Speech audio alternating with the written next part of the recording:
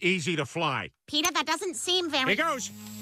Now, I don't have anything to control the trigger with, so I put it on a timer. But I don't remember how long I set it. Ah, we're all gonna die!